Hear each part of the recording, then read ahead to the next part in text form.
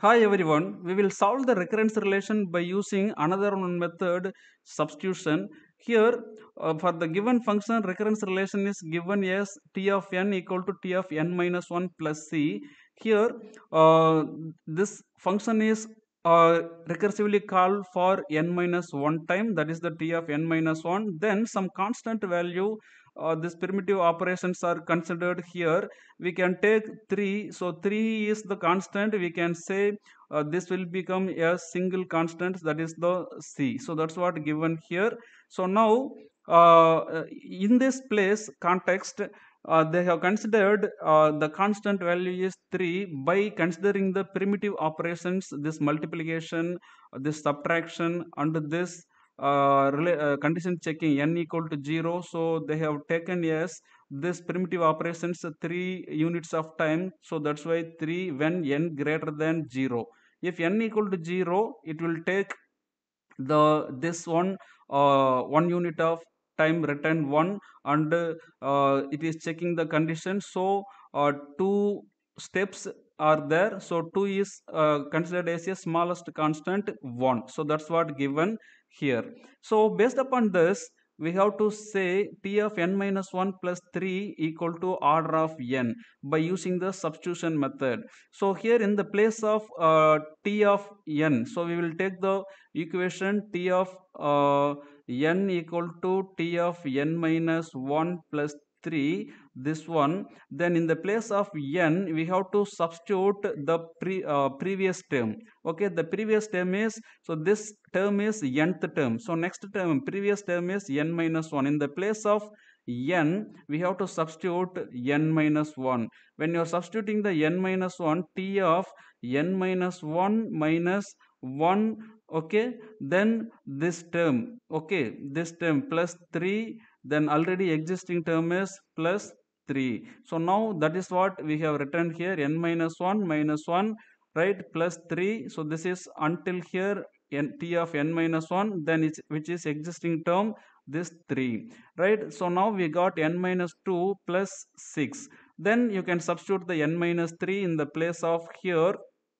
okay so then you will get n minus 3 term is for uh, 3 you will get right? So here n minus 3 uh, plus 1 right?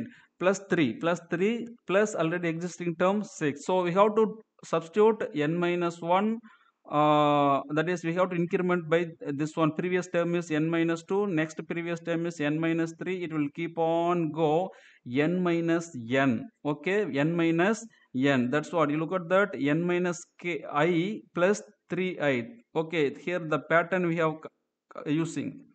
3 times of i. So when i equal to n you will get n minus n plus i equal to n means 3n so now n minus n you are getting the 0 then plus 3n okay that's what given here. Then you got one uh, one t t of 0 is consuming one unit of time and here this is the 3n so as per the order of growth we can uh, we can ignore the constant value and coefficient value of the higher order. Then finally big o of n. So this is the way to uh, apply the substitution method to find out the time complexity of given uh, recurrence relation function. For the factorial function what is the time complexity which is using? The factorial is using the uh, stack memory allocation. Here when you are passing the n equal to 2 then we will pass factorial of 2 here. Okay factorial of 2 here. Okay. So factorial of 2 we are passing then we are uh, shaving in the uh, that result uh, result has to be calculated in future. So we are passing into the stack right? Now n equal to 2 which is false then it is coming here. Factorial of 2 minus 1 which is 1 so factorial of 1 we are passing here. Next uh, second uh, recursive call. So now factorial of 1 is saving here then again n equal to 0 which is false. It is coming back here. The sec uh, uh, second recursive call here. 1 minus 1 equal to 0 so again it is going back. So n it is 0 the n equal to 0 return 1 so 1 is returning to this value right for the factorial of 0 so 1 is added here plus the 1 into 1 so f of 1 this is for f of 1 so f of 1 we got the value 1 so now we got the value 1 for f of 1 then the previous call is f of 2 so here for f of 2 2 into f of 1 okay? So now we got 2 into 1 so for f of 2 we got the value now 2 so this is pushed out because we are assigning this 1 into here in this place okay in this place we are assigning the value then it is going back.